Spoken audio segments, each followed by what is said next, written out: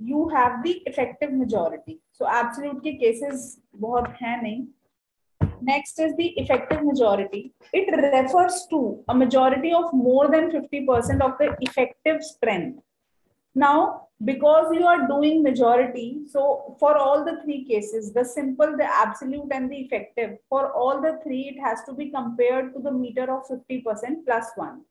But the base is changing every time. In case of simple, it is present and voting. In case of absolute, it is total.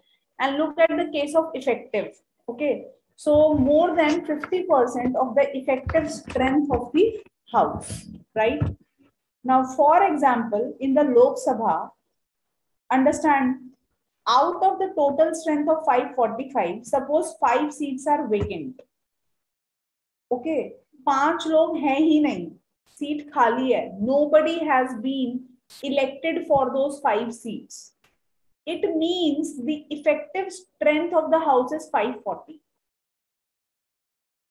So in this case, the effective majority is 270. Now to make it and put it very simple in a simpler language, I would give an example here. Try and understand. Suppose for this year, I keep uh, 40 seats in my batch. I reserve 40 seats. Okay. And to fill in those 40 seats for the quality batch, you will have to go through a test.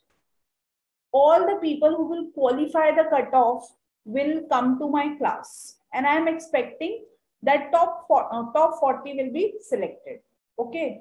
Now, suppose the test was set in such a manner that only 34 people could qualify the cutoff. Now the six seats are vacant. So what is the effective strength of my class? 40 minus 6, that is 34. Clear?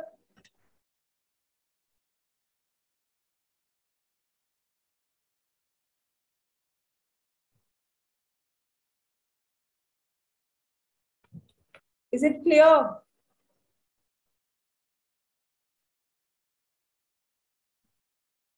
All right.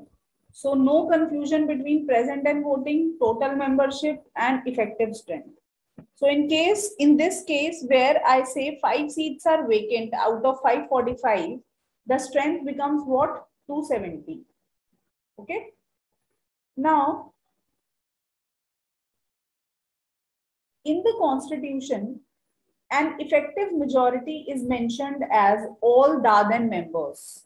All the then means this is the term that has been used for effective. So do not confuse yourself. All the people who were there then, okay, in the constitution. So effective majority is needed where A, removal of the chairman of Rajya Sabha, that is the vice president of India, and deputy chairman in Rajya Sabha.